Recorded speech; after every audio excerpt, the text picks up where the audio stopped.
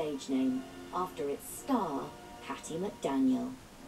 Hattie Jacques was performing in blackface stage makeup, a practice common at the time, but unacceptable now. There's a, a lovely black actress in Gone with the Wind called Hattie McDaniel. And at the time when that was first on, I was first starting at the Players Theatre in London, singing old-time music halls uh, numbers. And um, I was singing a number called Oh Oh Antonio with a black makeup. And somebody said to me, you look exactly like Hattie McDaniels. Uh, Hattie McDaniels is a bit large too, you see. and that was it. I was called Hattie from then on.